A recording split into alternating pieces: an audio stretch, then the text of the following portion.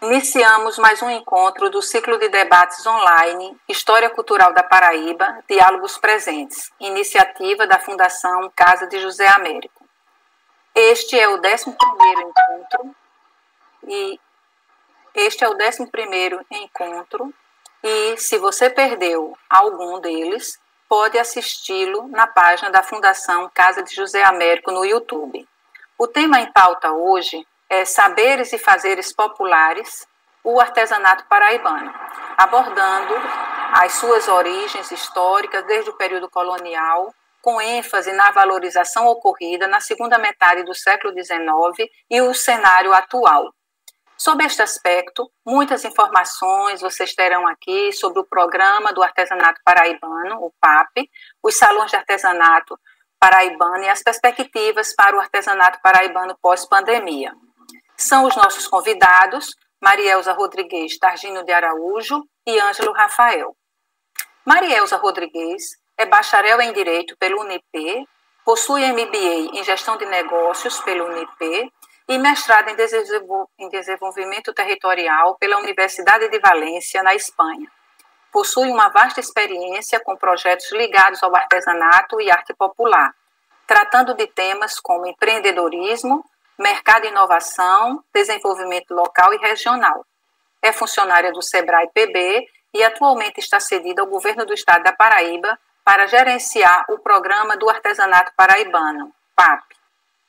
O nosso outro convidado é Ângelo Rafael, que é artista plástico, design de artefatos de couro pela Escola Politécnica da Cooperação Técnica Internacional Italiana, especializado pelo Polidesign de Milão e pela Escola Superior de Propaganda e Marketing, SPM, de São Paulo, em Design Estratégico.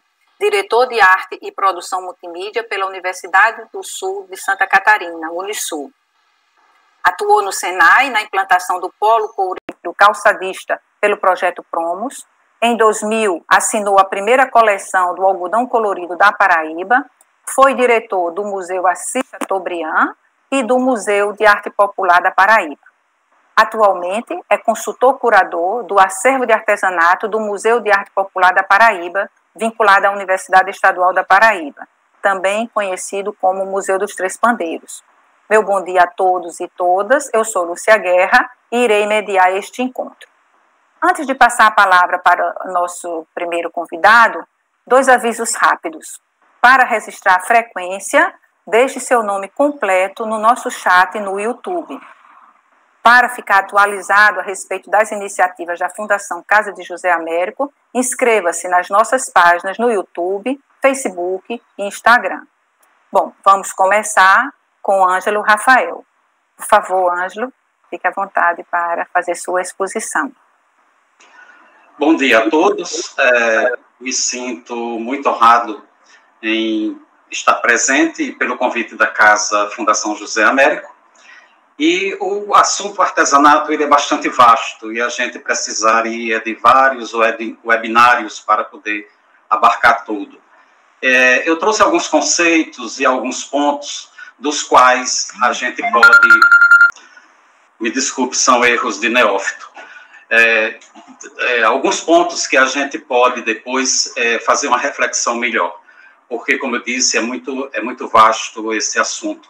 A, Unesco, através da Organização Mundial de Artesanato, diz que o artesanato é toda atividade produtiva que resulta em objetos e artefatos acabados, feitos manualmente, ou por alguma é, intervenção, pequena intervenção mecânica, e a utilização de meios tradicionais, com muita habilidade, destreza e capacidade.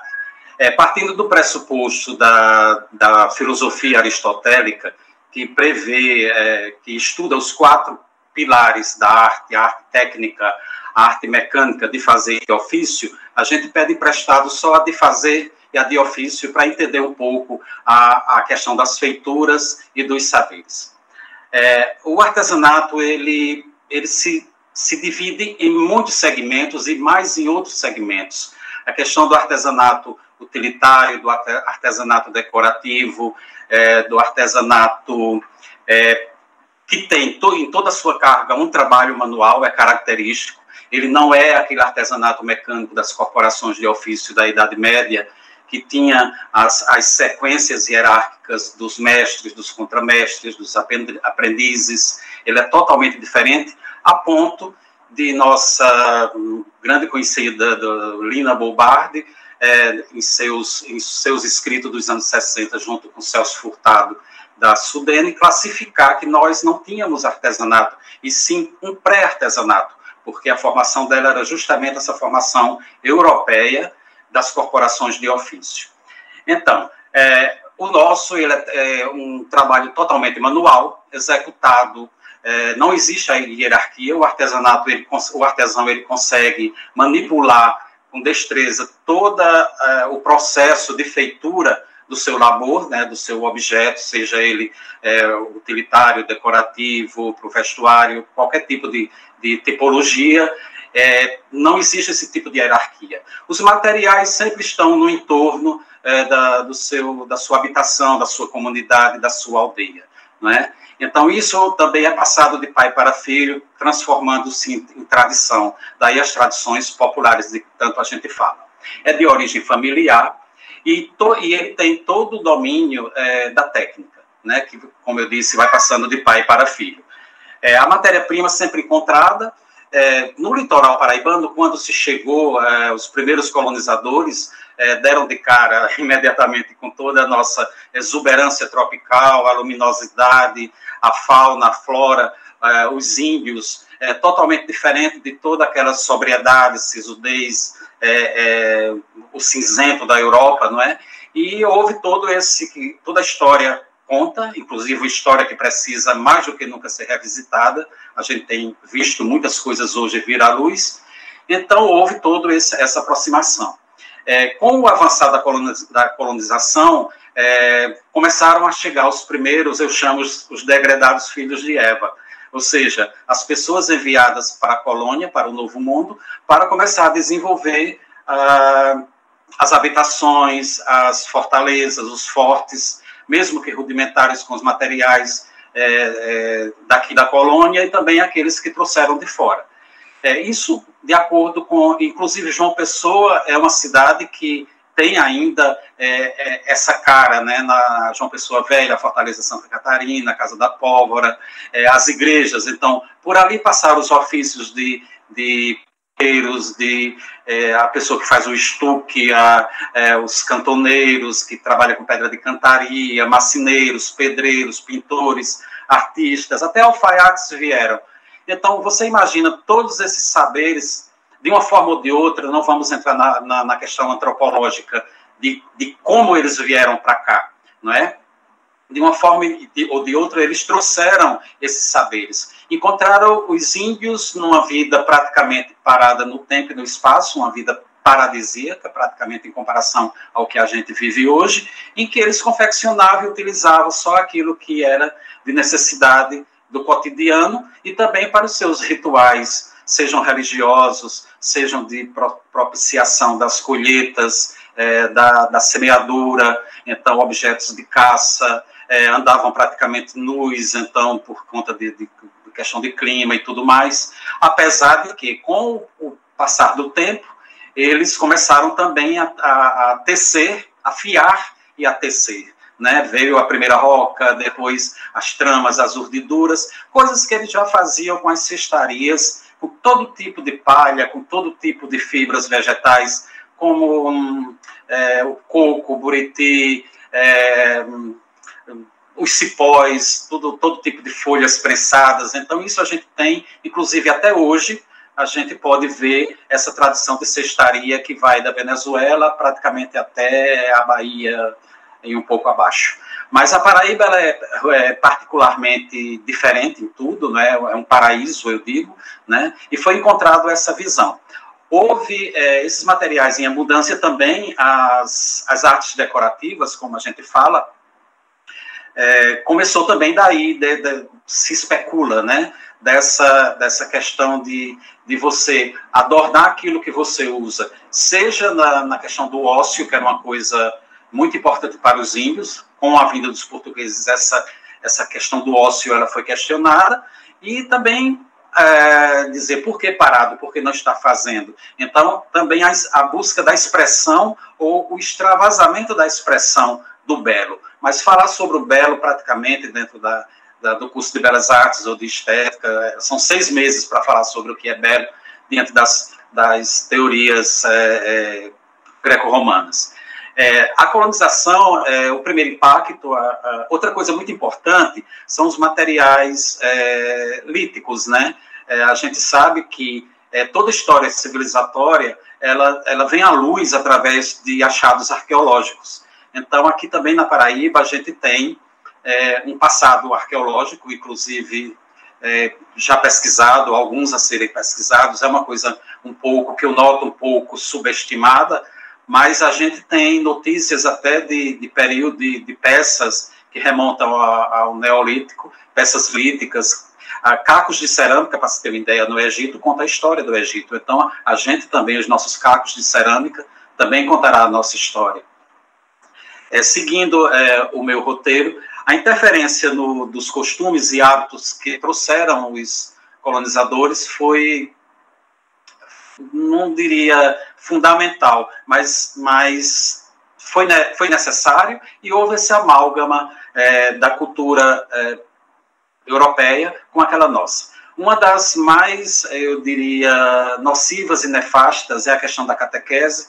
Inclusive, até hoje, a gente tem esse tipo de problema é, na, nas, nas, regiões mais distantes, é, na região amazônica, onde se quer impor às, pessoas é, determinado credo, determinado tipo de deidades. É, isso vai de encontro a, a qualquer ato civilizatório, seja é, em qualquer canto do mundo. E, e este é um, um, aspecto também muito é, é, interessante, que, que se vê também a decadência das civilizações, essa questão religiosa. Você não pode chegar e dizer, não, é, existe uma deidade tal que não é o trovão, que não é a chuva. Ora, a, a chuva, para mim, é a deidade porque faz nascer a mandioca, faz nascer a planta tal, a fruta e tudo mais. Uma das características interessantes do povo da, eh, dos, dos, índios eh, da Paraíba, um pouco diferente dos índios da região amazônica, é porque para cada etnia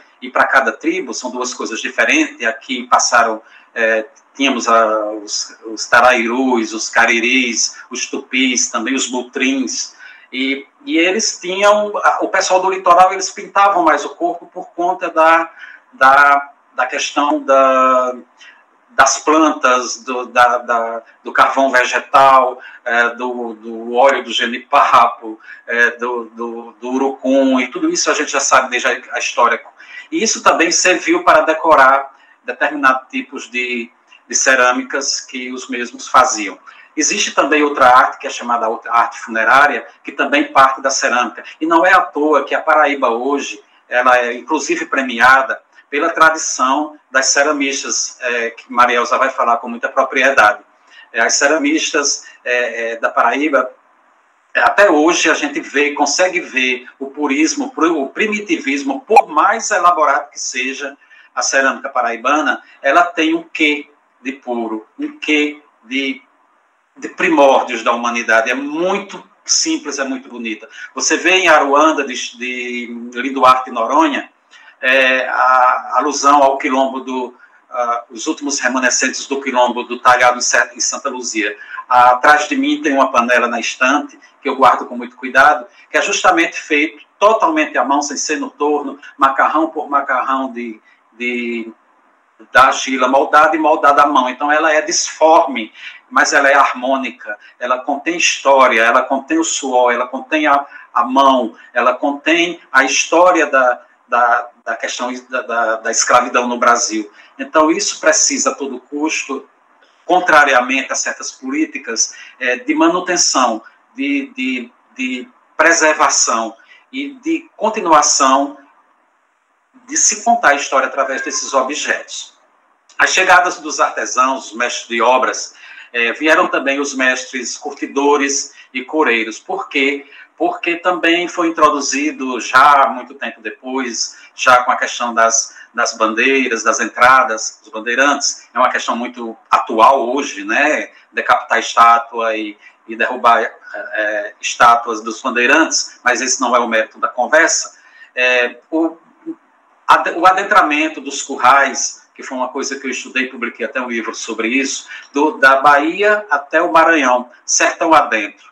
Isso com a anuência da Corte de Portugal para se dividir as seis Marias diante das capitanias hereditárias para as famílias mais abastadas, então, é, os Dávila, é, os Maias, é, vários nomes que chegaram, inclusive junto com esse pessoal que veio para a colônia, também há de convir que era um tempo de alta inquisição na Europa.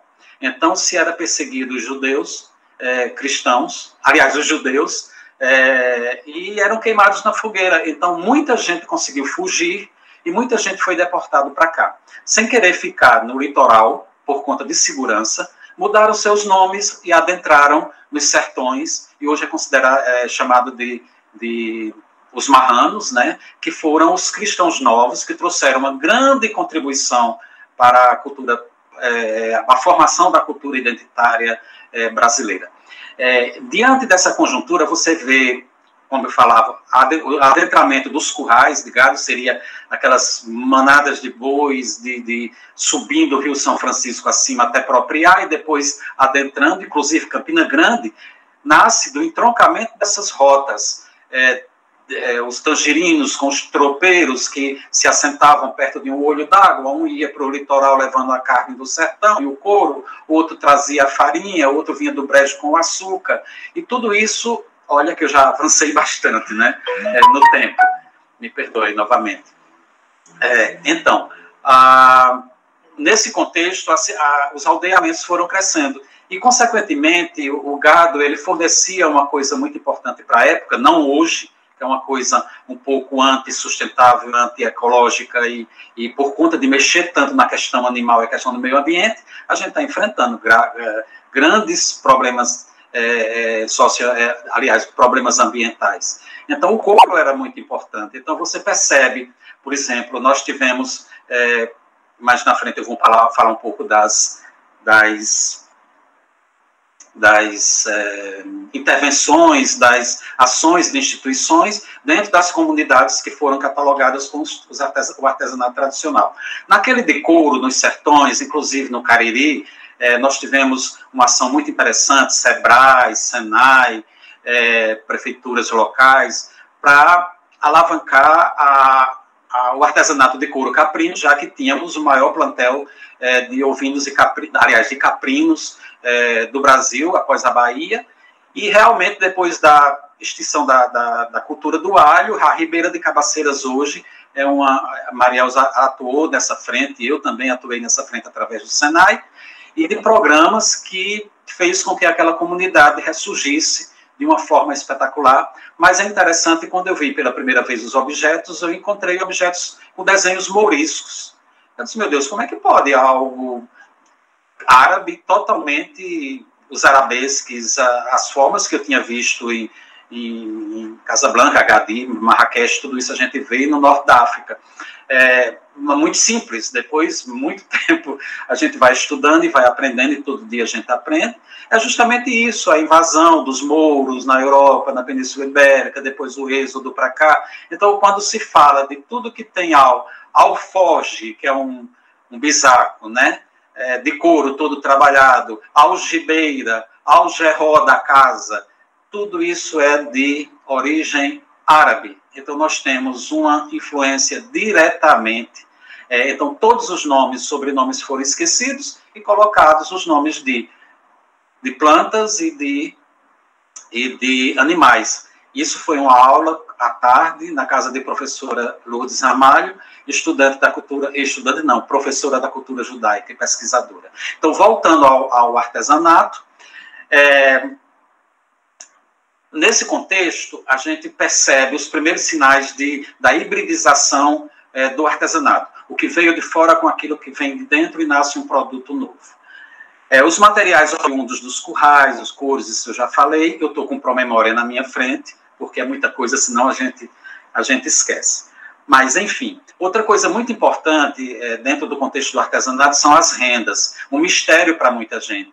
Mas as rendas partiram também porque vieram de, de, de Portugal é, vários tipos de renda, a renda irlandesa, a francesa. Agora, nós demos o, o upgrade nessas rendas, chega com 5, 6, 7 pontos, tem rendas aqui, Mariosa pode mais tarde falar depois, é, chega a 40, 50 pontos diferentes, enquanto os índios, pescadores, a esse ponto já com o trabalho de tecer as próprias redes de pescas, as, as esposas ficavam é, na praia com suas almofadas, com suas telas, tecendo e fazendo e descobrindo esses é, bordados e essas tramas maravilhosas como o labirinto, ou o crivo, é, o frivolité, o filé, a renda renascença, a renda inglesa, as tramas que daí é o próprio crochê que, é, que tem um agulho, outros têm três, outros têm nove, já tem outro nome. É, você chega em Sergipe e aí tem outro muito interessante que chama-se Boa Noite. Então você vê a ligação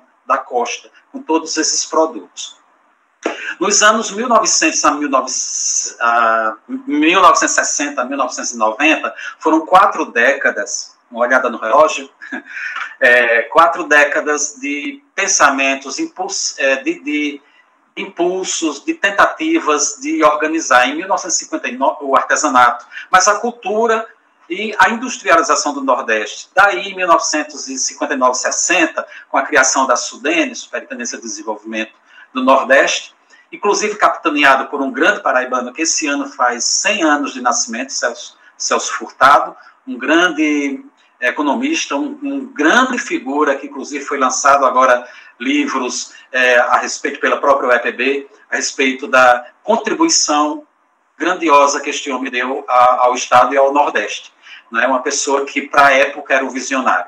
Da Sudene, já com a colaboração de Lina Bobardi, do MASP, a mesma do MASP que conversava com Assis Chateaubriand, que, tem, que fundaria mais tarde a Escola de Desenho Industrial de, de, da Bahia, cujo museu chegou lá para fazer uma coisa clássica e terminou partindo para o artesanato ou pré-artesanato, como ela fazia, era consultora de Celso Furtado. Muitas coincidências eu encontrei dentro dessas pesquisas. E tudo documentado, está tudo na Biblioteca Nacional, e uma das coisas mais interessantes da tecnologia é unir a gente desta forma, nesse período que a gente está passando, e a busca do conhecimento. Não tem mais desculpa de dizer, eu não tenho como estudar, a não ser aquelas pessoas que ainda estão desprovidas de acesso à internet e de acesso a esse tipo de informação tecnológica e que nós temos a obrigação de lutar para que todos tenham.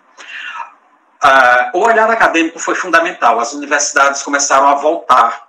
Isso a gente descobre através das teses de doutorado, de mestrado, as dissertações. Começa aos fazeres. Né? Então, é, a UFPB teve um grande, uma grande importância dentro da consolidação da identidade do artesanato paraibano. Tá? Eu já falo artesanato, eu não sou da linha de Lina Bobardi, de pré-artesanato. Para mim, é a questão dela. É, não sou crítico também. É, eu acho que a gente escolhe aquilo que a gente acha mais, mais viável, mais interessante, inclusive porque eu nasci aqui, eu vivi com isso. Então, a UFPB, ela foi muito importante, porque teve um olhar, inclusive um olhar feminino. Eu não vou citar nomes, porque eu vou me esquecer de alguns, mas eu conheci muita gente, inclusive foi o intermédio da universidade, que eu tive grandes avanços na minha vida profissional na UFPB, com a abertura do curso de Educação Artística, licenciatura voltado para arte e educação, em 1983, que abriu o leque para a questão da, das belas artes, da, do teatro, da fotografia, mas também essa visão de, de olhar para o artesanato. Né? Foi uma coisa muito interessante. Um braço da Sudene foi Artene, é, da, da, oligarquia sudene, foi Artene que seria é, um, um, nicho que cuidaria do artesanato do Nordeste. E, por incrível que pareça, os mesmos objetivos, é quase um projeto do, é, um anteprojeto do programa, programa Brasileiro de Artesanato, praticamente com as mesmas, as mesmas os mesmos objetivos, preocupações com o artesão, com a questão da renda, com a questão da qualificação, com tudo isso.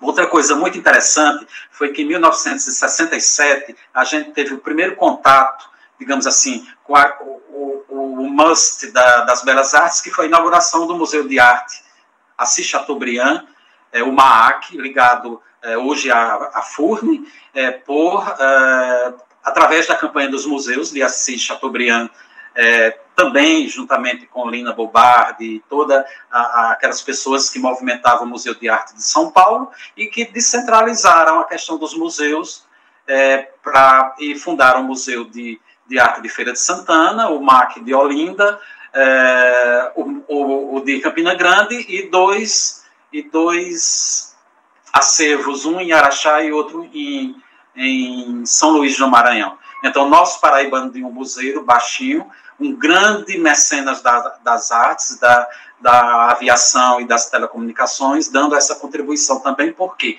Porque nós começamos a ter esse olhar direto é, com a arte acadêmica e com também a vanguarda que chegava a Campina Grande. Neste, é, neste ínter, o curso de coros e tanantes da UFPB é, a, a, utilizando a prerrogativa da matéria-prima, da história de Campina Grande, também funcionou durante um bom tempo até se amalgamar com o Centro de Tecnologia do Couro Calçado, que em 1993 eu morava fora e vim para ajudar a fazer as, as grades curriculares, é, tanto da, da, da parte de, de, design de calçados e produção e artefatos, e eles entravam com a parte de, de curtimento, preparação e tudo mais. E daí foi um grande, uma grande década de trabalho e de coisas muito interessantes. E, e, e nasceu e estão até hoje é, trabalhando. Desculpem, mas eu tenho um gato preso que está miando, é, mas eu não posso fazer nada. E a gente tem que entender.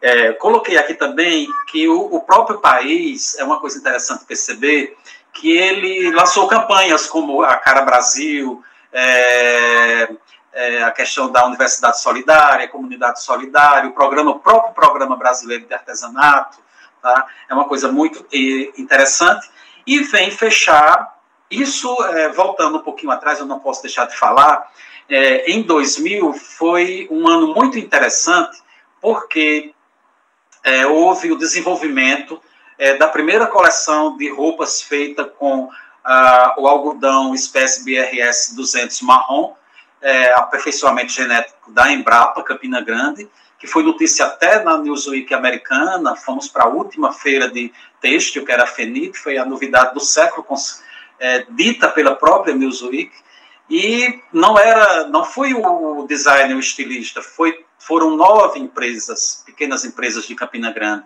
e tinha só duas cores, o bege e o marrom, e o que fazer o diferenciamento? Daí eu lacei mão é, do, da catalogação da Sudarte, da Superintendência de Desenvolvimento do Artesanato, que mapeou os, os, lugares de Massaranduba, Serra Redonda, Apilões, Alagoa Nova, é, Areal, essas cidades onde se fazia o artesanato. Então, os designers pegaram o, o, as, as amostras, o artesanato, e trouxeram e inseriram dentro de um contexto de designação e não de intervenção, dentro de uma coleção que foi apresentada que até hoje é uma coleção atemporal.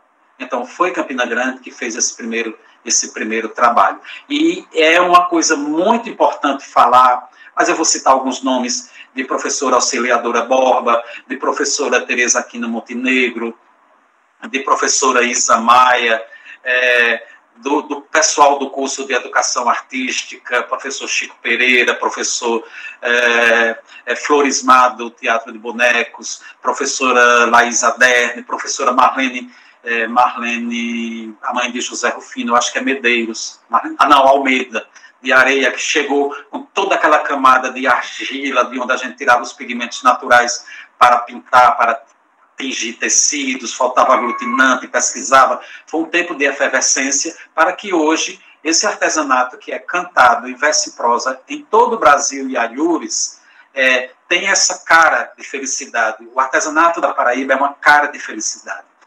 Eu, eu, eu trabalhei em Serra Rajada, em Serra Redonda, é, em Areal, em Cabaceiras, e eu me lembro com Marielza que nós chegamos numa comunidade para um trabalho feito de consultoria, de melhoria, de atender os artesãos. E eu disse, Marielza, e agora? Eram mulheres frágeis, mulheres com problemas familiares, com os filhos, com os maridos. E a gente parou e disse, olha, a gente vai passar um mês trabalhando a autoestima. Era uma Páscoa, e a gente levou um, um sonho de valsa para cada uma. E hoje a gente sabe que as crocheteiras de Areal ganharam o top 100 do Sebrae, que Dona Terezinha de, Serra Rajada foi para Paris com a, a, a, eu me emociono com isso, com a, o labirinto. Então, a gente tem cumprido essa de bastidor, porque esse é um trabalho dos bastidores. Os verdadeiros heróis são os artesãos. E para as minhas considerações finais, eu coloquei aqui uma coisa muito interessante, muito. É, outra coisa, o Prodtec da universidade, capitaneado pelo reitor da época, professor Berilo Ramos Borba, foi um, também um grande impulsionador que fez é, o, o, link com alguns países como México e Itália, do que, é, que a professora Celene Citoni foi a primeira pessoa a fazer essa ponte com as instituições, inclusive o Politécnico, que depois eu viria a estudar e a lecionar, né? Então, professor, hum, meu Deus, deu um branco agora do, do curso de Educação Artística. É, mas, enfim, toda essa turma foi responsável porque hoje a gente, para hoje a gente ter essa, esse artesanato consolidado e que agora, a partir deste momento tão delicado de, de saúde mundial, a gente vai ter que quebrar paradigmas, vai ter que mudar a abordagem, vai ter que mudar a metodologia de certas práticas, a gente vai, vai ter muita coisa nova, apesar de trabalhar em cima de coisas é, primitivas, de coisas velhas. Né? Eu não acredito no novo mundo para amanhã, vai levar muito tempo para a gente ainda trabalhar isso. Tá? É, os artesãos eu chamei aqui de high-tech, né? É, Maria explicará isso aí muito bem para vocês a, a reinvenção do artesão e o inserimento também de, de outros materiais, outras linguagens, né? Eu fiquei muito feliz de saber que Dona Nevinha está exportando containers fechados. Eu fico feliz de saber que mais ainda sou apaixonado pelo primitivo, por Dona Maria dos Bichos, por Dona Lucinha dos Bichos, né? Pelas, pela Serra do Talhado. Eu, eu, sou, eu sou purista nesse sentido, mas aberto às novas perspectivas. Então, eu estou encerrando, quero agradecer a todos. É, estarei à disposição através do Museu de Arte Popular da Paraíba, que culmina é, essa história do artesanato nesse ponto, neste ano, como é, o depositário fiel das melhores tradições do artesanato, com mais de 2.500 peças catalogadas, fora a parte de literatura de cordel, cantoria e e saberes orais e a parte de música com discografias já digitalizadas como de Jackson do Pandeiro, Antônio Barros e Cecel, aquele beijo, aquele abraço, patrimônio vivo. E para todos eu desejo, é, muito obrigado à Fundação José Américo, e para todos eu desejo vida longa e muita saúde. Muito obrigado. Obrigada Obrigada, Ângelo Rafael. Você ainda terá a oportunidade de falar ainda e se despedir ao final, ok? Bom, mas então, é, para dar continuidade né, ao nosso, à nossa exposição, ao nosso é, ciclo de debates, eu quero é, dizer a vocês né, que estamos, é, nesse momento, no 11º encontro do ciclo de debates online História Cultural da Paraíba, Diálogos Presentes, promovido pela Fundação Casa de José Américo. Vamos agora ouvir a nossa convidada, Marielza Rodrigues. Por favor, Marielza. Bom dia a todos. É, agradecer à professora Lúcia e, em nome dela, a toda a Fundação Casé Américo pelo convite. É, o meu querido amigo Ângelo Rafael, que tanto falou tanta coisa boa e, e a gente fica aqui recordando né, de tantas coisas que já vivemos juntos e sempre de forma positiva. Eu louvo a Deus pela sua vida, viu, Ângelo? É, gente, eu vou começar me apresentando um pouco.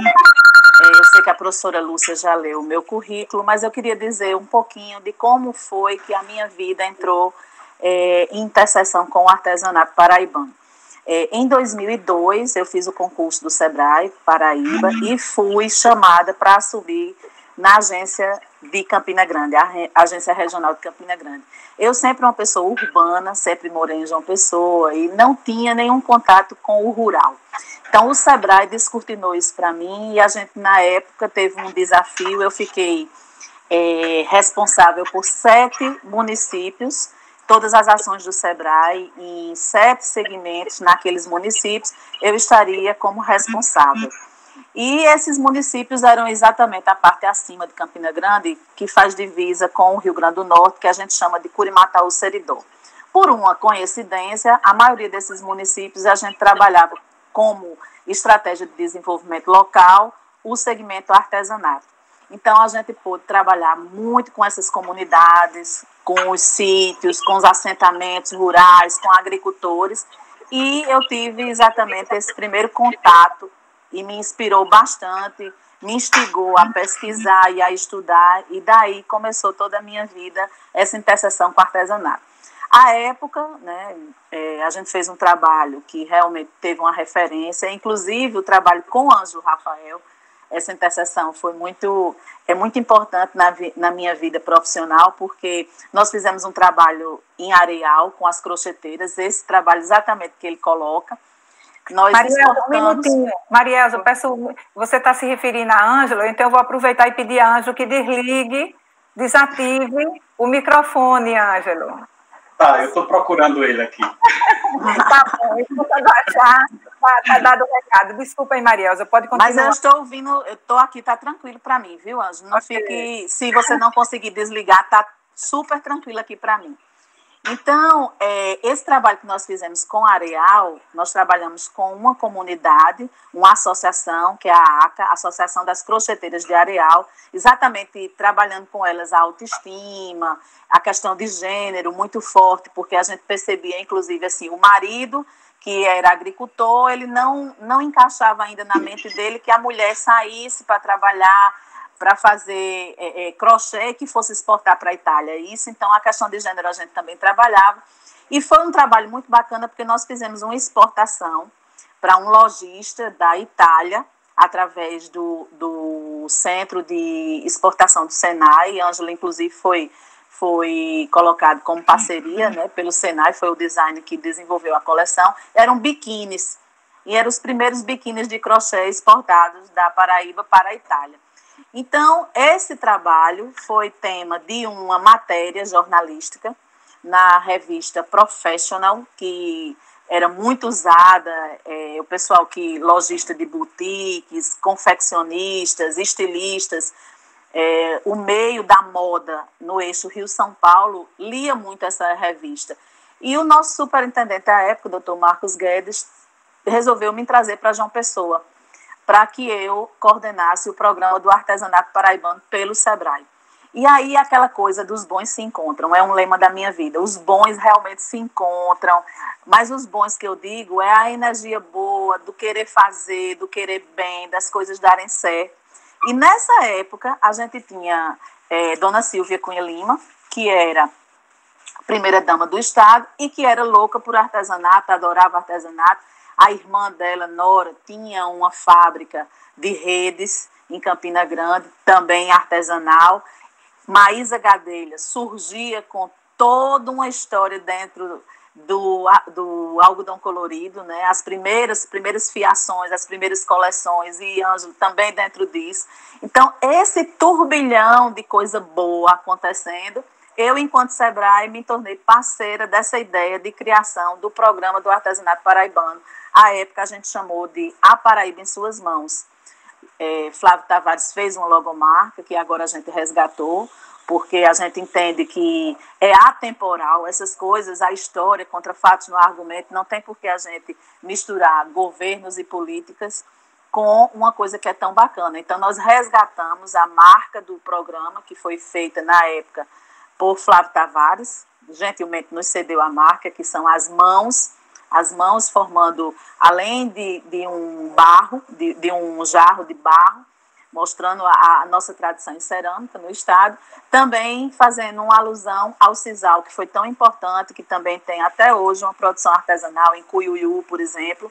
A gente consegue é, é, o pão de açúcar, por exemplo, que é uma grande uma grande rede de lojas no Brasil, ele compra toda a produção de Cuiuiu em Barra de Santa Rosa. Pouco paraibano sabe disso. Né? São cestas é, feitas a partir de uma, de uma grade de arame. Eles trançam o sisal de uma forma ainda bem rudimentar, mas que fazem cestas maravilhosas, cestinhas de pão, cestinha para torrada. E que vendem em todo o Brasil nas lojas dos Pão de Açúcar. Qualquer pessoa que puder ir naquela estantezinha do artesanato, né, que o Pão de Açúcar sempre foi parceiro do artesanato, você pode ir lá e tem um representante do artesanato paraibano, que é o Cuiuiu. Então, dentro desse, desse turbilhão, nasce o programa Paraíba em Suas Mãos, que foi é, criado, é um programa de governo, criado por decreto governamental à época, e que está até hoje. Né? Todos os governos que passaram continuaram com esse apoio ao artesanato paraibano. E esse programa, a gente tem um, uma preocupação muito grande de dizer o que é que, ela, que ele faz, como foi criado, quais são os seus valores, missão, visão, porque às vezes as pessoas confundem muito. A gente tinha uma preocupação muito grande quando a gente criou o programa, a Vanderly Siebra, que era ela já estava aposentada da UFPB, e a Rosa Tânia, eram duas consultoras que nos ajudavam muito nessa parte teórica e científica de formação do programa, elas tinham uma preocupação com o braço.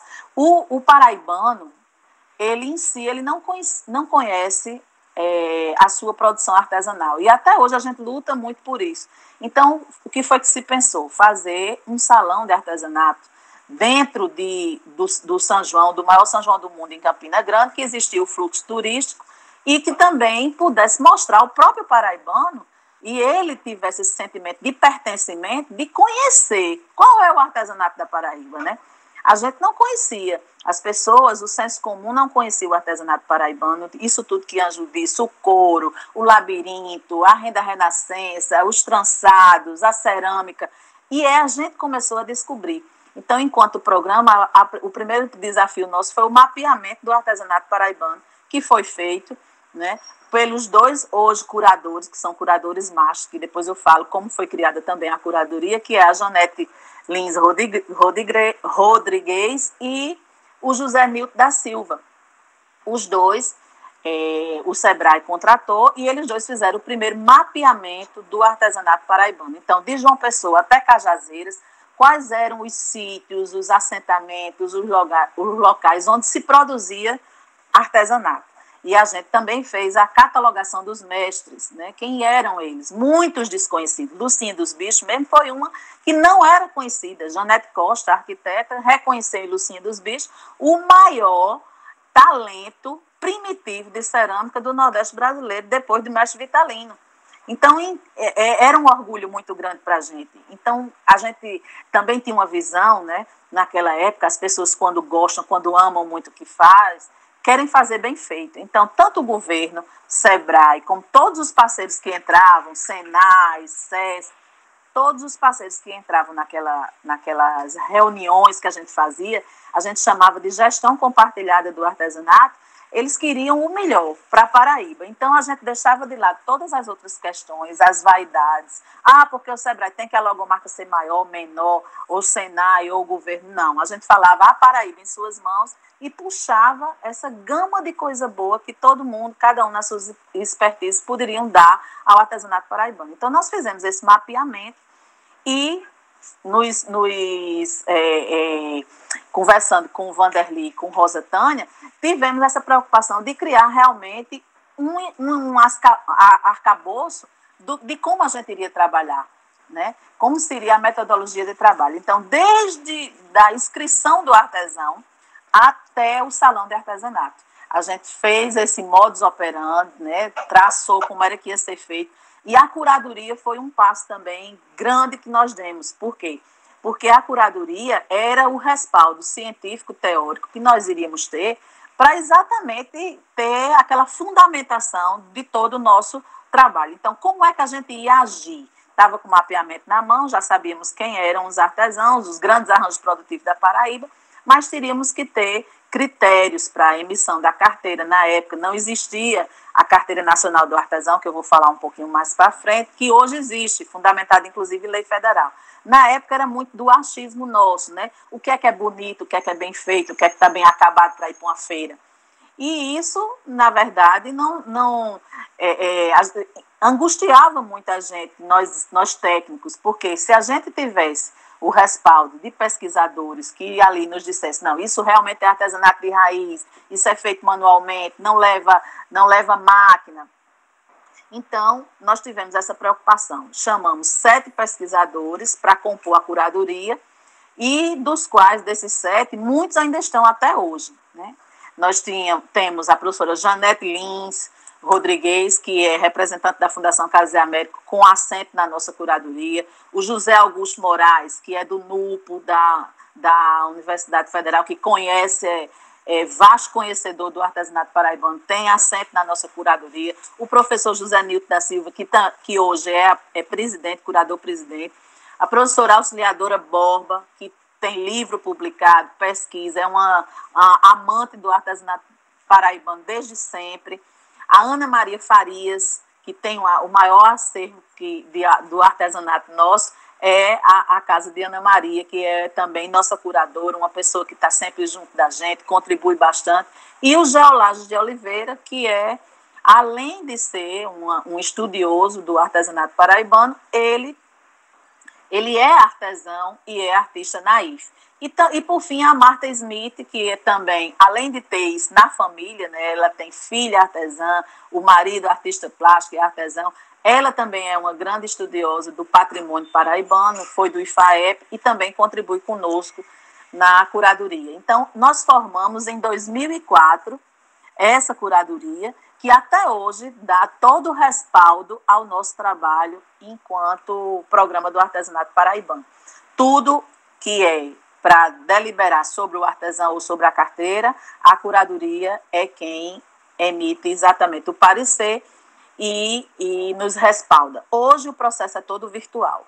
Por quê? Porque lá atrás foi criado também, paralelamente a, a tudo que foi criado aqui na Paraíba, já existia a iniciativa nacional, que era o Programa do Artesanato Brasileiro, o PAB.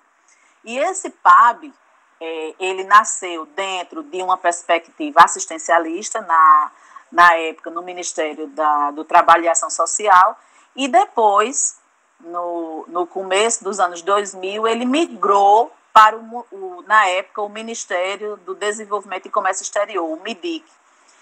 E exatamente nessa época, quando ele migrou, mudou-se um pouco a visão não tratar o artesão como aquele coitadinho, né? Como aquela pessoa, ah, vamos comprar para ajudar, das quermesses de igreja, daquelas coisinhas de esquina, na, em cima de uma mesa, é, para ajudar a fulaninha, porque a fulaninha está em depressão, fazendo artesanato. Então, toda essa visão, ela muda e passa a ter uma visão empreendedora. E isso também casa muito com a nossa visão do SEBRAE a gente enxergar o artesão enquanto um empreendedor, protagonista da sua história, que pode mudar a sua realidade e que no locus interno dele ele pode resolver muita coisa fazendo com apoio lógico das instituições. A gente não, não exclui a importância das políticas públicas, mas com a visão empreendedora, onde o artesão ele vai sim buscar, ele é líder, ele pode ser protagonista do processo. E é nesse turbilhão que nasce o Aparaíba em suas mãos. Então, nós construímos o documento, foi um decreto governamental, saiu esse decreto publicado no Diário Oficial, e lá tinha também os objetivos, as ações, a missão e visão, tudo do programa.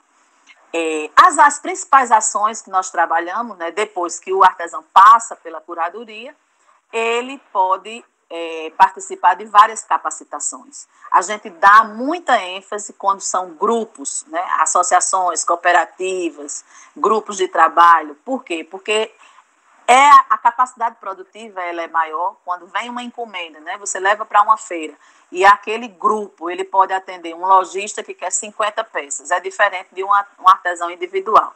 Não que ele não seja apoiado. O artesão individual ele é apoiado sim, mas nós damos é, a prioridade aos grandes arranjos produtivos e grupos de trabalho que tenham capacidade produtiva exatamente para eventos, né? Quando a gente chega na ponta da cadeia que está ali na vitrine, a gente quer exatamente atender ao cliente, ao turista, ao lojista que possa fazer uma encomenda gerando mais renda através daquele trabalho. Então, nós trabalhamos com a capacitação desse, desses grupos, e essas capacitações elas passam por associativismo, empreendedorismo, atendimento ao cliente, é, muitas vezes intervenções de design que são importantes, e aí existia uma discussão muito grande, porque intervenção de design, ah, eu sou a favor, eu sou contra, porque o artesanato de raiz ninguém pode mexer. E a gente chega com uma visão é, inovadora, né? exatamente não só de você intervir no artesanato para mudar ele, não, mas às vezes é uma etiqueta para pendurar no produto com um tag mostrando a história do artesão que fez aquilo, e isso é o design que faz. Ou uma embalagem, né? uma boa embalagem que possa transportar o produto artesanal com maior segurança, que a cerâmica chegue no seu destino final sem quebrar. Isso tudo é processo de inovação e tecnologia que o design traz para a gente. Então, nós fomos mudando um pouco essa visão, inclusive vários historiadores e, e puristas da época é, condenavam né, nosso trabalho, porque trazer design para quê? E a gente fazia como? Trazia para uma sala os debatedores, né, tanto designers com a visão muito futurista, quanto aqueles, é, aquelas pessoas ligadas à cultura de raiz, que eram muito radicais e terminava a gente várias e várias reuniões a gente terminava com um saldo positivo, né? Aquele design achando sim que tinha que preservar, ele não podia chegar numa comunidade e simplesmente intervir ou impor a vontade dele, que ele tinha que construir junto com o artesão, mostrando, é, abrindo a, a, a, visão daquele artesão, mas se que ele se apropriasse também de uma visão onde ele era quem estava fazendo, né, que ele trabalhando e, e também como partícipe do processo de intervenção, e para aquele aquela pessoa mais mais purista, vamos dizer assim, mais radical, que não se devia ter o design, abrindo também a mente daquele daquele estudioso para que o design não é, trouxesse e gerasse é, desenvolvimento para o artesanato, porque não adiantava ficar uma, uma peça artesanal em cima de uma, de uma estante, onde o artesão depende de vender né, para o seu sustento, para a sua melhoria de qualidade de vida, e está ali criando poeira, porque a gente tinha que preservar sem vender. Então, essa visão de mercado é importante, sim, desde que observando todos os critérios de prevenção, de, de preservação da nossa cultura. Então, essa é, é possível a gente fazer essa catálise dessas duas visões e a gente terminar com uma a síntese, a, a, a, a antítese, né, e a tese para gente, pra gente é, chegar num denominador comum para o artesanato paraibano. Então foi nessa nessa intenção que a gente criou o braço do, do programa ligado à capacitação. Os eventos, a gente criou primeiro o de Campina Grande, foi um sucesso total trouxemos para o litoral e hoje né, nós fazemos o de Campina durante o maior São João do Mundo e o salão de João Pessoa em janeiro, onde a gente aproveita também o fluxo dos turistas que aqui estão. É uma equipe, né, além da curadoria, porque a curadoria, por incrível que pareça, ela está fisicamente e ligada ao programa, ela é criada a curadoria para apoiar o programa, ou seja, sem o programa a curadoria perde o sentido, mas ela está abrigada no organograma da Secretaria de Cultura, exatamente para dar essa isenção, para dar essa transparência e a gente ter exatamente esse respaldo cultural. Então a gente resolveu dividir na época e até hoje é assim. Inclusive foi republicado o, o decreto de criação da curadoria já com algumas, algumas modificações, onde a gente vai ter os curadores que vão permanecer, que esses vão ser para sempre, são curadores masters, e a gente está trazendo pessoas é, mais com a visão mais, mais nova, que possa modernizar a nossa curadoria de forma a atender o artesão da melhor forma como é hoje que se dá, né? Criou-se o programa, a gente fez tudo isso, tem o, o, braço de capacitação, de acesso a mercado, de inovação e tecnologia. E hoje nós trabalhamos em parceria com o Programa do Artesanato Brasileiro, porque existe a lei federal que partiu de uma discussão nacional sobre o que era artesanato e como é que podia se criar a Carteira Nacional de Artesão. É como hoje você tem a Carteira Nacional de Habilitação para dirigir, você tem a Carteira Nacional de Artesão. Então, é um sistema todo online, o artesão entra no SICAB, ele faz o seu pré-cadastro, né, dá entrada, pede a carteira dele, diz qual é, o, o, cadastro todo ele responde, né, onde é que ele mora, endereço, CPF, tudo direitinho. E, por último, ele faz um vídeo, que a gente fazia isso presencial com os curadores, e agora é, é virtualmente, a prova de feitura. Porque para você comprovar que é artesão, você tem que fazer uma peça na frente dos curadores. Então você filma fazendo, se é uma crocheteira, ela faz o crochê, ela pega a linha, ela pega a agulha, ela faz o crochê dela em vídeo, mostrando que é ela que está fazendo e manda, e os curadores dão um parecer e ela recebe pelo e-mail a carteirinha dela que pode imprimir em qualquer lugar do Brasil. Essa carteira é válida em todo o território nacional. Então, essa parceria com o, com o sistema, né, é um sistema nacional que está abrigado no site do governo federal. Hoje, o Ministério não é mais o MIDIC, que foi extinto, nós somos uma secretaria, estamos dentro da Secretaria de Empreendedorismo e Artesanato, dentro do Ministério da Economia, hoje nosso ministro é o, o Paulo Guedes, e existe uma estrutura em Brasília, que é o Programa do Artesanato Brasileiro, que está dentro dessa Secretaria de Empreendedorismo e Artesanato. Então, dentro do arcabouço também do programa do artesanato paraibano, nós tomamos conta dos equipamentos em João Pessoa que estão ligados ao artesanato. Nós temos a Casa do Artesão, lá no Varadouro, que está, inclusive, é, em processo. A gente vai ceder aquele espaço ao Corpo de Bombeiros, que pediu, e o Corpo de Bombeiros vai ficar, vai tomar conta. Lá a Casa do Artesão funciona como ateliês. Né? Nós temos 10 artesãos ainda lá, remanescentes, com os seus ateliês. Na maioria, madeira, couro e cerâmica. Tem um forno, eles usam esse forno coletivamente e estão lá. É, o mercado do artesanato paraibano, que foi construído na época do governo Buriti, que é na Rui Carneiro, nós também tomamos conta. Hoje lá a diretora é a Georgiane Luna. Então, nós temos lá os lojistas, mas eles caminham com as próprias pernas, porque eles têm uma associação de lojistas, então condomínio e, e toda a deliberação é, que eles tomam, que eles fazem, a vida cotidiana das lojas é de, de, sob a responsabilidade dessa associação. E há uma grande luta que nós temos é exatamente que o, o, os lojistas eles vendam artesanato genuinamente paraibano. Já existe uma lei que deve ser 30% pelo menos, mas infelizmente a gente percebe que essa lei não é cumprida. Então a gente tem esse grande desafio ainda de sensibilização desses, desses equipamentos. O mercadinho Júlio Rafael, que é aquele redondinho antigo na, atrás da PBTU, também somos nós que tomamos conta. A diretora lá é, atualmente é a Fátima Almeida, que outrora, lá no início do programa, também já foi diretora do Museu Casa do Artista Popular, Janete Costa e que hoje é de, dirigido pelo nosso querido design Fábio Boca Moraes. O Museu Casa do Artista Popular, Jonete Costa, ele está passando por um processo de reforma.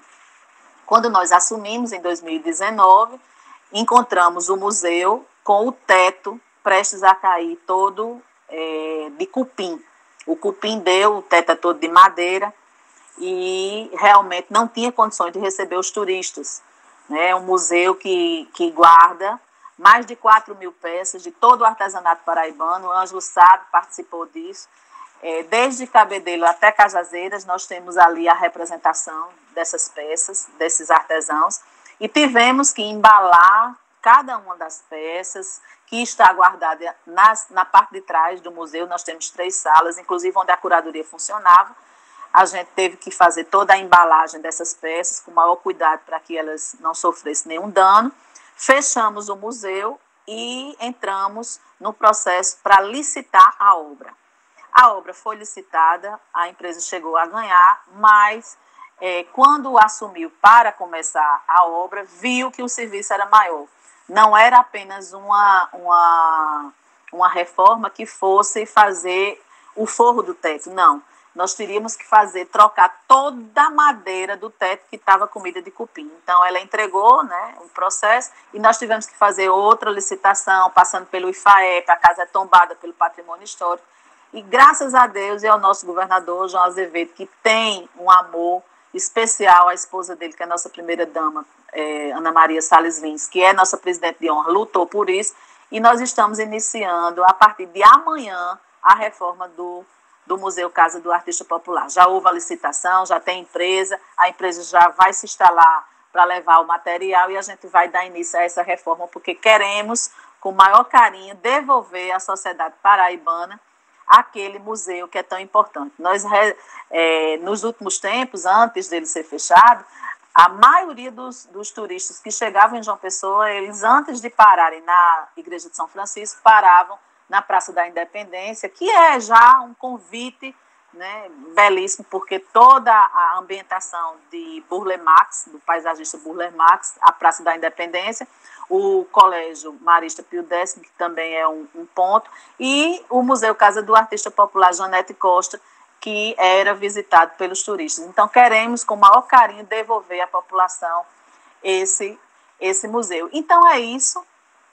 É, a minha fala, eu quis, realmente, eu pedi a, a licença, tanto a, a, a Ângelo como a professora Lúcia, para trazer para vocês é, como se deu o início, como foi criado e como nós trabalhamos o programa do artesanato paraibano. Nesses tempos de pandemia, estamos atendendo é, remotamente, pelo nosso e-mail, pelas redes sociais, nosso Instagram, inclusive nós estamos com lives, toda semana duas lives, com temas específicos para o nosso artesão, que é o nosso público, a nossa razão de existir. É, e também, a, a, agora, toda semana, um sorteio. Nós estamos fazendo sorteio de uma peça artesanal e divulgando um artesão para que ele tanto divulgue o, o, o trabalho dele, como a gente possa também, cada dia mais, estimulá-los a entrar nesse mundo virtual, a conhecer o nosso Instagram, nosso Facebook, nosso e-mail, para que a gente não perca é, esse contato. É, trazendo, para finalizar, as notícias sobre os salões de artesanato, que existe a expectativa muito grande, porque o salão de artesanato que haveria em Campina Grande, ele foi cancelado por causa da pandemia, logicamente os, o São João de Campina foi cancelado. E nós nós tivemos que cancelar o nosso salão de artesanato que ia ser novamente no Museu de Arte Contemporânea de Campina Grande, que hoje está cedido à Facisa, doutor Dalto Gadelha, doutora Gisele, nos cederam novamente, já estava tudo pronto. Nós já tínhamos tema, o salão seria uma homenagem às pedras da Paraíba, nós iríamos trabalhar exatamente no Curimataú Seridó, resgatando essa mineração, como é que faz esse artesanato, picuí, lá com a lapidação, lá dos idos de 1980. Então, nós íamos resgatar toda essa história e ia trazer o 32º Salão do Artesanato Paraibano, Pedras da Paraíba. Infelizmente, ele teve que ser cancelado, nós não perdemos ainda a esperança de fazer fisicamente o salão em João Pessoa em janeiro, mas estamos trabalhando também com o plano B. Qual é esse plano B? Nós estamos montando uma plataforma em parceria com a Codata. O governador João Azevedo já autorizou, o presidente da Codata, Guido, já teve esse contato conosco. Um funcionário está da Codata à nossa disposição, que é o Anderson com a Eugênia Barreto, trabalhando diuturnamente para que é, essa plataforma de divulgação, essa vitrine que é o, o, Salão de Artesanato, ela esteja abrigada no site do governo.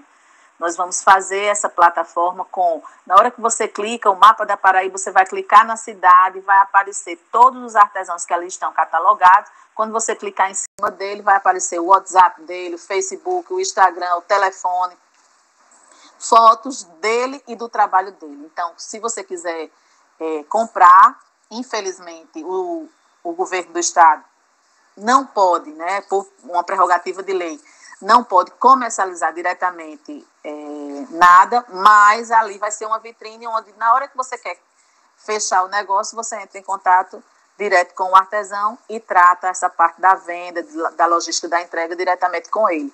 Então, foi o que nós pudemos pensar para essa época de pandemia, toda a nossa programação voltada para o artesão. O, o Instagram do PAP, arroba artesanato não perca, porque tem muita programação, muitas lives. Hoje, inclusive, nós vamos estar recebendo a Paula Mendonça, que é uma designer de, do Rio de Janeiro, que trabalha muito com a, o tema sustentabilidade. Então, hoje à tarde, às, às 5 e meia, pelo Instagram do PAP.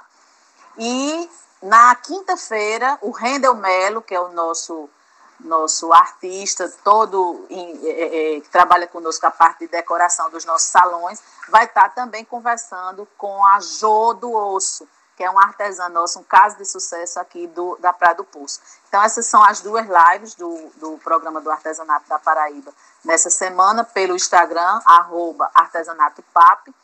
E o sorteio dessa semana é um artesã de Araçagi, a Paula Regis, que vai estar sorteando uma Nossa Senhora feita toda em biscuit, combinando com uma máscara para proteger do, do Covid-19. Então, gente, muito obrigada à Fundação Casé Américo, obrigada a Ângelo. Foi um prazer enorme trabalhar aqui com vocês e participar dessa live. Espero ter contribuído para mais informação sobre o artesanato paraibano. Obrigada, Marielza, pela sua exposição. Vamos passar agora para o debate, né, a partir do chat, e eu já começo com uma, um registro do presidente da Fundação Casa de José Américo, o jornalista Fernando Moura, que ele não traz uma questão para vocês responderem, mas ele diz o seguinte: mesa com dois especialistas de nível internacional. Vamos usufruir e aprender. Bons diálogos, presentes. A Fundação Casa José Américo agradece a participação do público, convocando para um debate amplo. Então, são as palavras de Fernando Moura, não é? E que, claro, eu também me aposto aqui, não é? Da importância dessa exposição que vocês dois fizeram aqui. Mas nós temos aqui algumas questões, né? Sheila Raposo, ela retoma o que Marielza falou a respeito de uma cota, de um percentual né, das obras é, genuinamente paraibanas no mercado de artesanato. Não é? Ela questiona não é, que encontra tantas outras obras que não são, que não têm a ver não é? Ela diz que no mercado artesanato, né, é, não apresenta totalmente esse artesanato tão vasto e tão rico, né? Tem muitas lojas que não cumprem, não é, talvez até esse percentual. Então ela traz essa questão que você já abordou, não é, Marielza? Mas ela retoma essa questão. Nós temos aqui uma pergunta é, de João de Lima Gomes. Ele é, quer saber se pode também se considerar as armas dos nativos, né, dos habitantes dos, dos habitantes iniciais aqui da nossa Paraíba, também podem ser consideradas artesanato, armas de guerra, né? Mas uhum. Vamos considerar como artesanato, essa é uma questão que ele faz. Outra ainda, para aproveitar esse primeiro bloco, né? A Andréa Medeiros, quando você falou que é, as artesãs ficavam na beira do mar, enquanto é, os homens pescavam, elas faziam né, renda na, esse trabalho no litoral, né, então ela, ela ressalta né, que bordar na praia realmente é por inspiração. E a Fundação Casa de José Américo tem um projeto justamente de rendeiras nos nossos jardins. Né? Toda quinta-feira tem um grupo de rendeiras que se reúnem né, com as suas almofadas, fazendo renda e ensinando a quem quiser aprender. Claro que com essa pandemia essa atividade está suspensa, mas uhum. é, combina um pouco isso né, do litoral com o fazer das rendas. Né? É, uhum. Outra, é, uma questão, né, porque esses outros são mais comentários, é de Adelânia Gouveia Lima, que ela diz o seguinte: no Cariri há a renascença, há o barro, entre outros. Durante um tempo ganharam visibilidade, talvez até como um certo modismo, percebi isso principalmente com a renascença em Camalaú. Como solidificar isso? Ou seja, como não ser só apenas modismos de um ou outro artesanato ter destaque, mas de solidificar. Então, eu coloco nesse primeiro bloco, é um primeiro bloco, viu, pessoal? Tem, terá um segundo, para vocês, ou Ângelo ou Marielza, comentarem.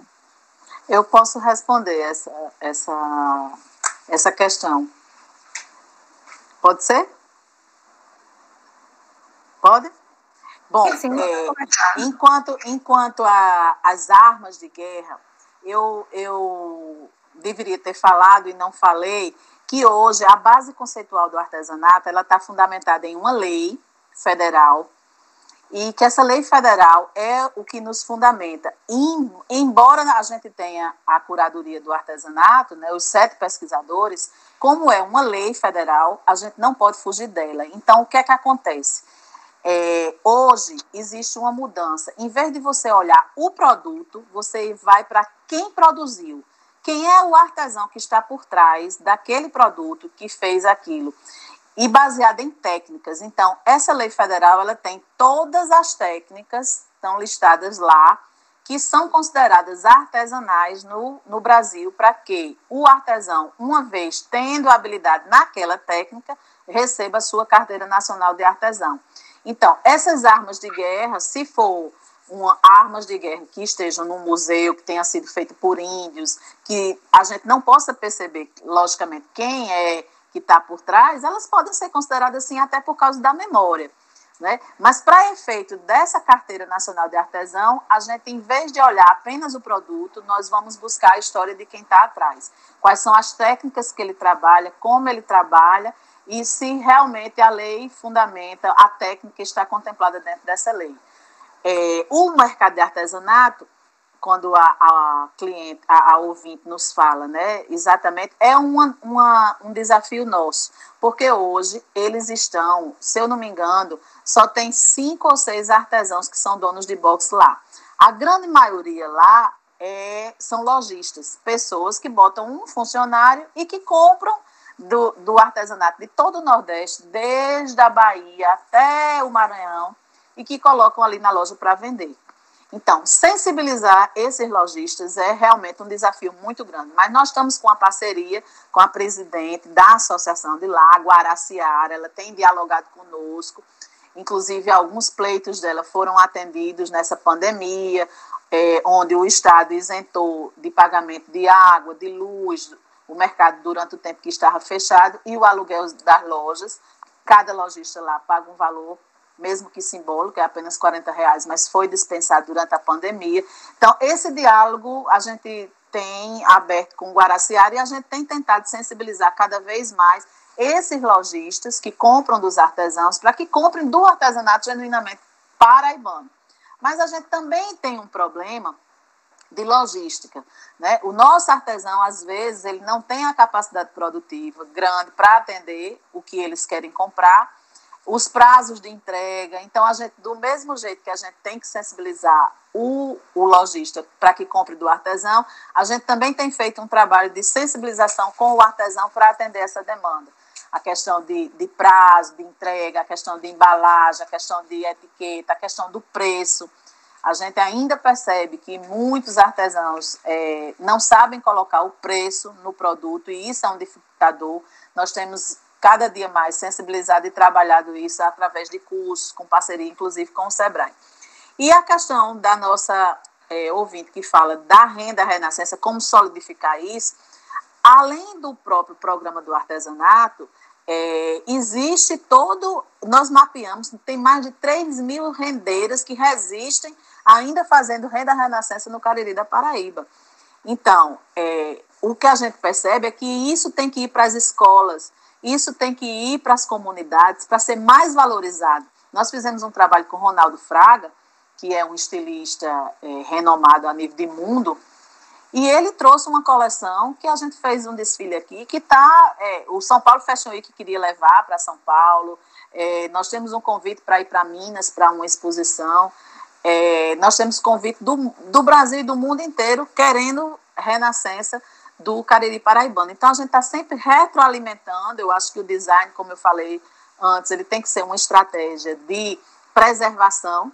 O design tem que ser usado exatamente como uma estratégia de preservação para que cada vez mais se solidifique. E a gente percebe que as políticas públicas de, de colocar nas escolas, difundir o trabalho dessas mulheres e que a comunidade se aproprie desses valores, porque essas rendeiras, essas mestras, elas são valores culturais desses municípios. A gente tinha um problema muito sério quando a gente assumiu o programa, lá no início, a própria rendeira ela não valorizava seu trabalho.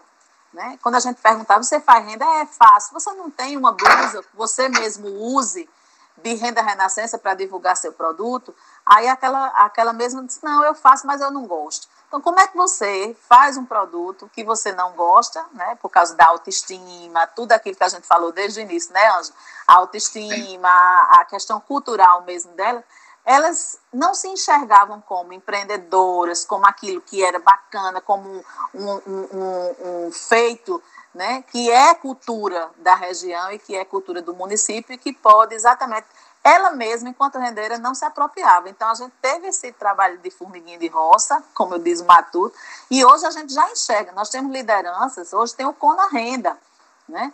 O Cona Renda, que é um consórcio de rendeiras do Cariri, se avançou muito é, é, em relação à liderança, porque a gente percebe que cada comunidade ela vai para frente, ela tem sucesso, ela consegue divulgar o seu produto, consegue se apropriar, é, é, desenvolver de forma que gere renda com, a, com aquele artesanato, quando a gente tem uma liderança muito forte, quando aquela pessoa acredita nela própria e na comunidade. Então, ela leva ali como, como um trem, ela como um, um, um, a parte central da coisa e termina levando a sua comunidade. Então, a gente trabalhou muito essas lideranças. Hoje, no Cariri, nós temos seis lideranças, seis rendeiras em cada um dos municípios, é, trabalhando dentro desse consórcio que é o Cona Renda. Então, se avançou muito, mas a gente Mariel, ainda precisa avançar. Temos outro bloco ainda de pergunta, Maria. Pois não, eu já encerrei. não, Maria, então vamos lá. É, tem uma questão aqui de Amanda Félix. Ela diz o seguinte: sabemos que existem patrimônio material e imaterial. Este último pode ser registrado em livros, em várias é, formas né, de saberes e fazeres. Quais os percalços para esse registro aqui na Paraíba? Esse registro da cultura imaterial, né? o que tem sido feito, quais são os percalços, né? as dificuldades. Né? Então, tem essa questão de Amanda e tem uma um registro também de Ana Paula e também uma pergunta. Ela diz, ela pergunta o seguinte: vocês souberam da nossa sandália de couro que a Prada está vendendo por mais de 4 mil reais sem Sim. crédito para a tradição dos artesãos nordestinos. Quais as considerações sobre essa apropriação? Então, como o tempo já está é, já quase no final, então tem essas duas questões e tem mais uma terceira questão que é a de Fernando Moura, né? Ele faz um registro, né? Que há estados com uma forte iconografia ajudando no processo de expansão e conhecimento, como o Birimbau na Bahia, a Sobrinha, a Sobrinha em Pernambuco, a Rede no Ceará, entre outros. Será que não falta um símbolo desse à Paraíba?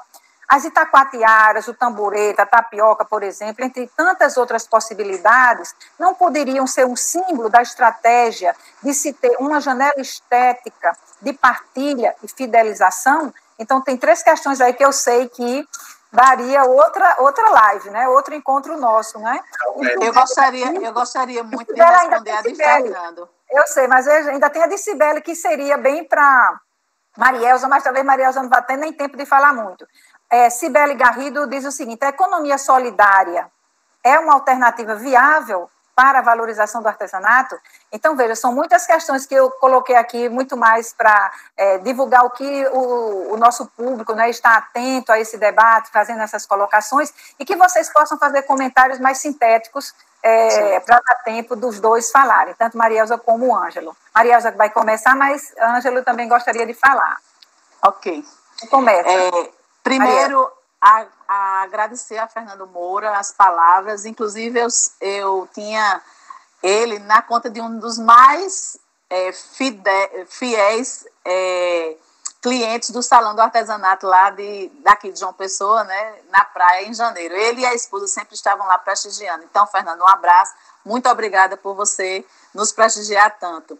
É, quanto ao símbolo, é, é o seguinte: o artesanato da Paraíba, é muito interessante isso. Ele se tornou muito difundido a nível nacional e mundial exatamente pelo ecletismo.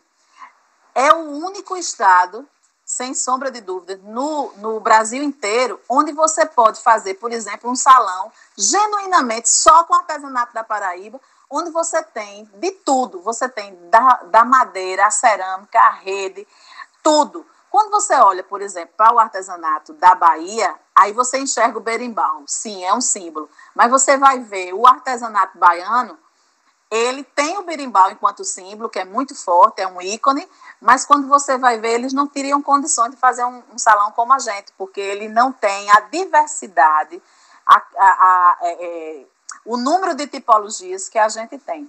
Então, realmente existe essa, essa é uma crise de identidade. Quando a gente olha para a rede, a gente pensa no Ceará, mas a gente também pensa no maior polo de rede de São Bento, que é aqui. Quando a gente pensa na renda renascença, a gente também tem em Pernambuco, outro polo grande. Mas, e, e, outra, pensa no Ceará, que lá não tem renda renascença. Mas por quê? Porque a Moceu Tabosa, em Fortaleza, vendia renda renascença de Pernambuco e da Paraíba. Então, essa, essa questão mental da gente ligar o artesanato a um símbolo de cada estado, ela é muito interessante quando a gente fala da Paraíba.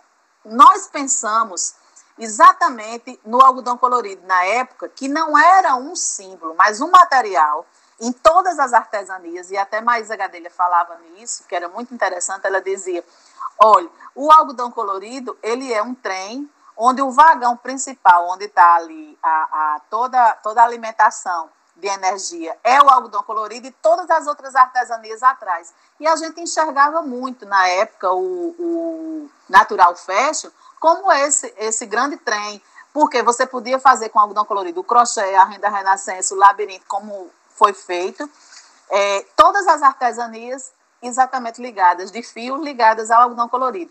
Infelizmente, a gente hoje existe ainda uma precariedade na, na, na condução de tudo que liga o, arco, o algodão colorido e não entra, como na portaria nacional, não entra material e sim técnicas, a gente não teria como emplacar esse símbolo ligado diretamente ao, ao algodão colorido. Tem esse entrave. Mas fica aí essa reflexão de que o símbolo da Paraíba não é um, mas são vários. Ângelo, por favor, seus comentários. Bem, eu gostaria de fazer uma pontuação em relação a Amanda, o que a Amanda falou. A questão dos, é, dos bens materiais e imateriais. Né? A gente está vivendo uma nova possibilidade através do fomento dos museus e acervos é, sobre essa questão da, da, do imaterial. Não é? O imaterial justamente é aquilo que é intangível do ponto de vista de toque, mas é, está presente. Por exemplo, as cantigas de criança, de roda. As, as, crianças de hoje não sabem o que é atirei o pau no gato, ciranda cirandinha, eu sou rico, rico, rico, de Mavé de si. Então, mas isso faz parte de, do contexto imaterial da nossa cultura. É, existem políticas governamentais que a cada quatro ou oito anos são interrompidas, isso é uma pena. É, eu falo governamentais a nível nacional, a nível é, governamental e municipal, mas principalmente nacional. Por quê? Porque a gente está atrelado para esse tipo de, de, de, tutela a órgãos como o IFAM, o IFAEP, a própria academia, as universidades têm que trabalhar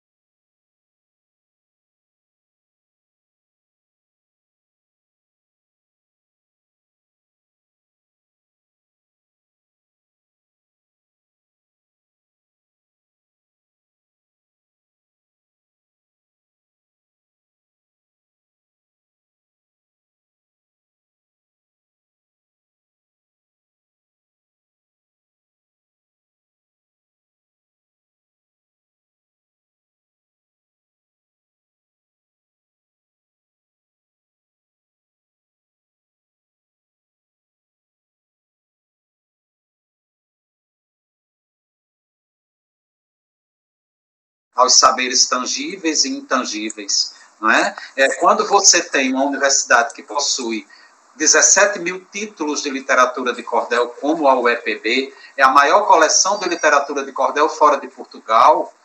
Então, é uma coisa que precisa ser protegida, divulgada, aberta ao público para pesquisas, e uma pesquisa muito delicada, porque temos obras do, das folhas soltas do século XVII, XVIII, e outra coisa, sem falar de conservação. No estado da Paraíba, a gente não vai ter conservação. Por que estou falando do cordel? Conservação de papel, conservação, é, o, o, acesso, o toque. Porque a gente está falando da oralidade.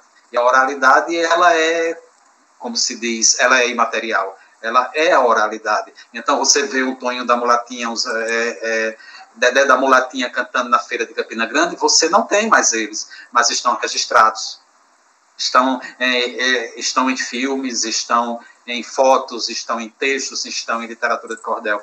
Então, essa questão da, da, da do imaterial, né, por exemplo, é, é, há uma, no momento uma luta para transformar o forró em, em, patrimônio imaterial. Como o acarajé em si é, é, é, material, porque você pega e come, mas a, a, a, o conceito do acarajé na Bahia é totalmente imaterial.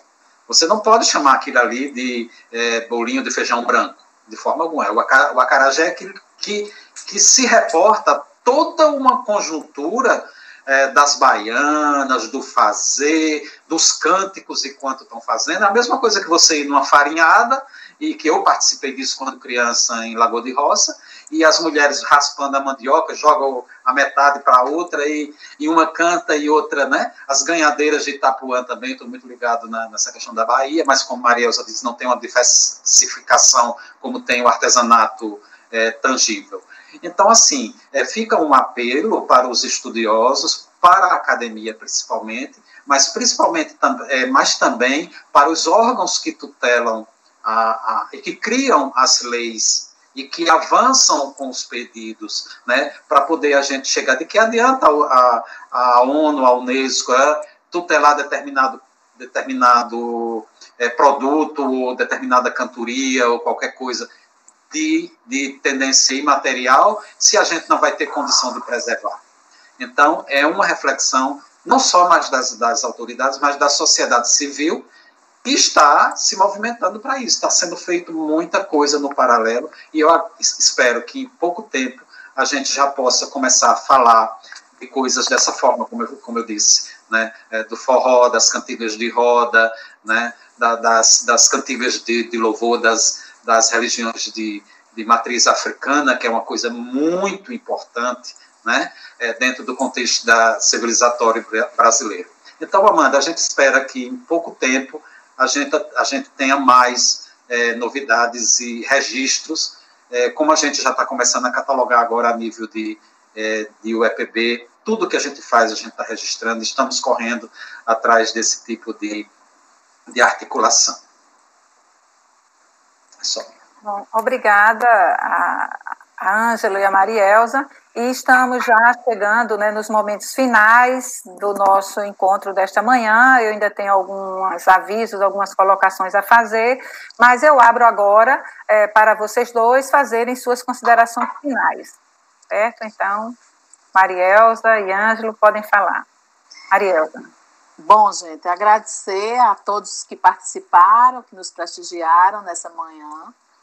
É, agradecer a Fernando Moura, a toda a equipe da Fundação Casé América, a professora Lúcia, o convite, e dizer que a gente está sempre à disposição. O programa do artesanato paraibano, tanto para atender o artesão, como pesquisadores e a própria fundação, se quiser qualquer coisa, nós estamos à disposição. A equipe é, é dividida, nós nessa, nesse tempo de pandemia estamos trabalhando remotamente tem um, uma equipe grande que tem o maior prazer em trabalhar com artesanato, trabalham por amor, e a gente está à disposição da Sociedade Paraibana, da Fundação e de todas as instituições. Bem, é, eu também gostaria de agradecer a, a Fernando Moura ao convite da Casa Fundação Zé Américo. Quero dizer a Lúcia Guerra que foi um prazer muito grande conhecê-la, porque ela me trouxe uma provocação que até certo ponto estava adormecida, do ponto de vista assim de algumas coisas do passado, fui nas minhas anotações e trouxe esse arcabouço de saberes e que já estou com mil ideias, né?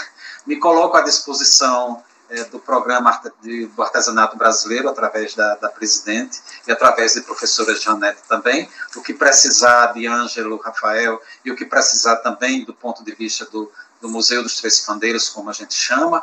É, a gente está à disposição, a UEPB sempre parceira de, de desse tipo de, de ação que, que tutela os saberes e a cultura paraibana. E ao meu povo paraibano, o meu carinho, muita gente não entende porque eu voltei, mas eu digo eu voltei porque aqui é o grande é, lugar para se viver, o grande, a grande luz do sol para se viver.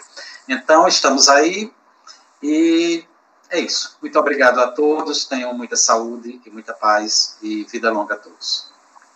Pois é, Ângelo, você dizendo que voltou, né? De onde? Da Itália, não é? Quer dizer, não... Eu digo assim porque eu, eu tive um período. O professor que eu queria falar, que esqueci do nome, foi Zé Nilton. Ah, José é, Nilton da Silva. José Nilton, pronto. Eu encontrei José Nilton e foi um abraço, assim, é, meu professor de, eu estou falando de 83, minha gente, são 30 e poucos anos. E ele disse, meu aluno de Barba Branca, eu digo, mas você está de Barba Branca também. E, assim, e a Itália foi o segundo momento, por intermédio da UFPB, a quem eu agradeço muito, professor Berilo, e depois de mim foram mais de 16 pessoas capacitadas, e depois o projeto Promos com mais de 20 pessoas. Então, eu fui passar seis meses, eu convivi 10 anos, então eu sempre digo que é uma volta. E é um ponto que está, digamos assim, sempre eu estou consultando, sempre estou, é, agora não mais, né, praticamente todo ano eu ia, faz uns quatro anos que eu não vou por questões estritamente estratégicas e financeiras e agora de ordem sanitária. Então, assim, quem viu é, eu trabalhando, inclusive para marcas, não como a Prada, mas também para responder, é, tem para você ver, o, é, eu vi a sandália é, a sandália de arrasto de couro pela, da Prada por R$ 4.400. É, para você ver o quanto a gente fala uma linguagem universal. Né? Então, essa história de idas e vindas tem a ver com, com, com a Itália que está dentro do meu sangue. E alguma vez alguém me perguntou: por que você fala tanto? Da, por que você gosta tanto do cinema italiano? Eu disse: gente, não há como. A Itália me deu tudo. Me deu, é como diz Elba Ramalho, me deu o, o, compasso, o esquadro e, e o compasso, né? E, e aqui eu, eu tive que trazer, não adiantava ficar lá, lá está tudo feito. Preciso fazer aqui junto com minha amiga, né, Marielza? E vamos. É isso aí. Eu queria deixar uma mensagem, professora Lúcia, para quem está quem tá nos assistindo, que fique em casa, se puder. Mas se for para a rua, se precisar sair, use máscara feita por um artesão. Tem muito artesão no estado da Paraíba fazendo máscara, e cada uma mais bonita do que outra, de renda renascença, de labirinto, de patchwork, são máscaras belíssimas. Então, valorize o que é da terra e compre uma máscara de um artesão paraibano. Ok, Maria, essa boa lembrança. Bom, pessoal, então, como eu disse, né, já estamos terminando. Eu quero, em nome da Fundação Casa de José Américo, agradecer a tanto a Marielza como a Ângelo Rafael e especialmente a todos e todas que estavam aqui prestigiando esse debate. Então, portanto, agradecemos essa audiência que sempre é tão importante e tão enriquecedor para o debate. Este evento prossegue na próxima quinta-feira com o continuando nessa temática de saberes e fazeres, só que vamos abordar a literatura de cordel e a tradição oral, contando com a exposição, com a presença de Karen Picado e Nelson Barbosa de Araújo. O ciclo de debates online História Cultural da Paraíba, Diálogos Presentes, tem a minha coordenação com a colaboração de Carmélio Reinaldo, assessoria de tecnologia da informação de Eduardo Costa e Rociane Delgado, e assessoria de comunicação de Fátima Farias e Sheila Raposo. Assim, estamos encerrando mais uma manhã de excelente discussão e até a próxima quinta-feira. E não esqueça, fique em casa, salve vidas.